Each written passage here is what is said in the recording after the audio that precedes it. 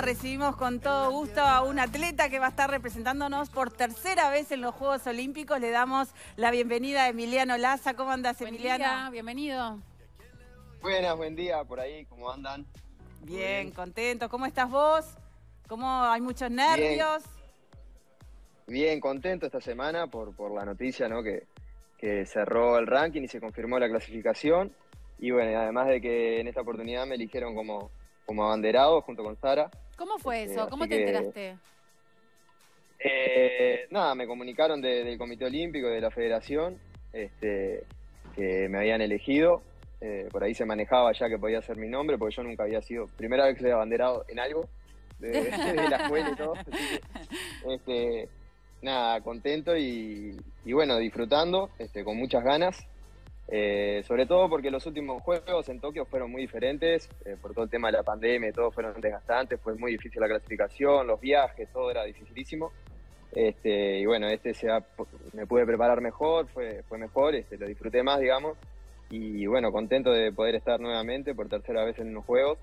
Este, nada, aprovecharlo y dar el máximo. Antes ya vamos a ir a la preparación, a todo, pero decías primera vez abanderado. ¿Qué significa para vos ser abanderado, llevar la bandera y, bueno, de un modo ser como eh, líder de, lo que va a suceder?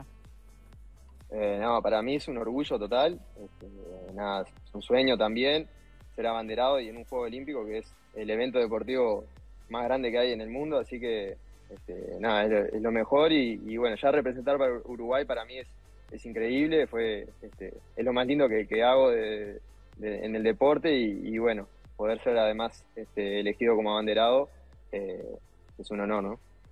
Emiliano, no sé si hay muchos atletas que hayan representado a Uruguay en, tres competiciones, Juegos Olímpicos, de manera consecutiva.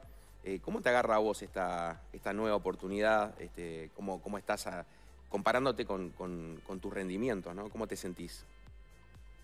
Eh, bueno, llegar siempre los Juegos Olímpicos es, dificilísimo ¿no? para, para nosotros. Este, están los, 30, en mi caso, en mi prueba son los 32 mejores. Eh, en Río pude ser finalista, que es sexto, que fue el diploma olímpico. En Tokio quedé a un centímetro de la final, que quedé decimotercero, a la final pasan 12. Eh, y bueno, esto ahora es como una revancha también para, para, volver a meterme en la final, que es el objetivo principal. Y bueno, creo que llego en un buen momento, llego bien, este, con buenas marcas. Eh, este año pude ganar el campeonato iberoamericano nuevamente. El año pasado gané el campeonato sudamericano. Este, pude saltar 8 metros, que es más o menos lo, que se necesita para poder entrar en la final. Obviamente hay que hacerlo en tres saltos.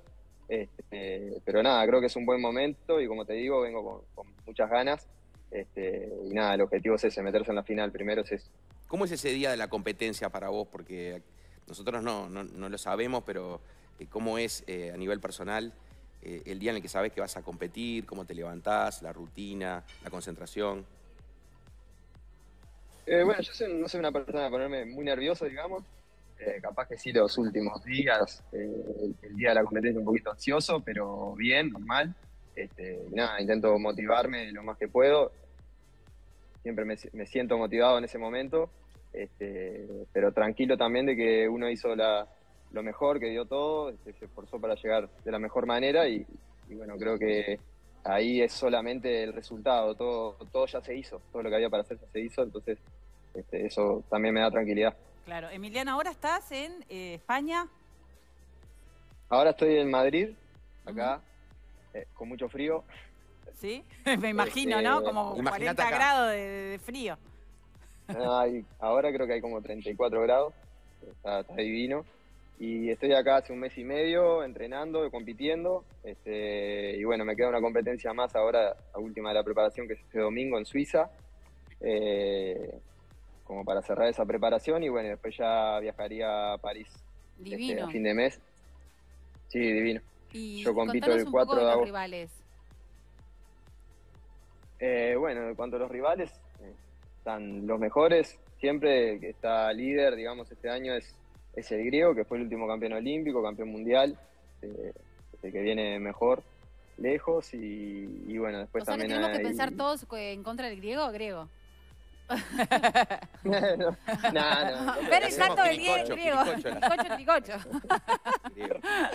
este, no, después hay, bueno, de Jamaica, este, Estados Unidos y de Sudamérica, por suerte también clasificó más gente, va colombiano, este, que últimamente es, el rival que está más parejo conmigo acá, eh, allá en Sudamérica.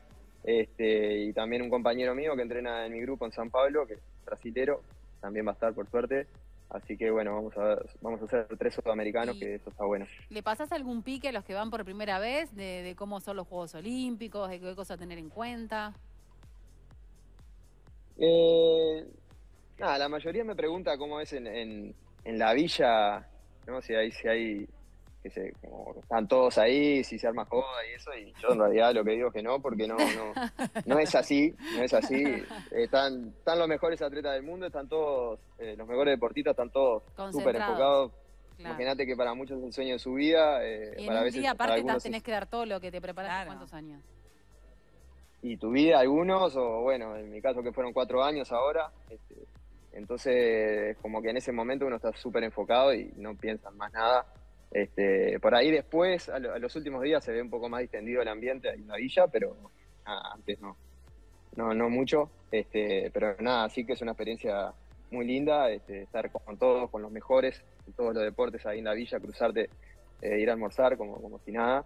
Este, nada, eso es increíble y, sobre todo a mí lo que me gusta mucho es poder estar ahí con toda la delegación de Uruguay, con todo el equipo. Este, eso está bueno, se vive diferente y nada, es muy motivante también. Sin duda. No, y obviamente vamos a estar todos pendientes, Uruguay pendiente, te acordás que siempre estaba, ¿no? Que saltábamos con todos, tres millones saltaban contigo. Saltamos todos. saltamos todos. No recuerdo otra vez de que realmente estábamos todos prendidos en la pantalla de la tele viendo un salto, ¿eh? Eso es un logro que te llevas contigo. Sí, sí, sin duda, no, siempre me, llegaba, me acuerdo, este, gente que me decía, te estaba, estaba en un cumpleaños de 15 y estaba mirando en el celular abajo tu, la final Tremendo. Este, de todos lados me miraban, sí, sí, fue increíble. Gente que no sabía cómo, cómo era el salto largo este, y aprendió en ese momento. Este, nada, haber podido lograr eso estuvo muy lindo. Buenísimo, bueno, muchísimos éxitos, vamos a estar pendientes obviamente, pero ya estamos orgullosos de que nos representes una vez más en los Juegos Olímpicos. Muchas gracias. Abrazo grande, Emiliano, éxitos. Bueno, muchas gracias a ustedes, un abrazo grande.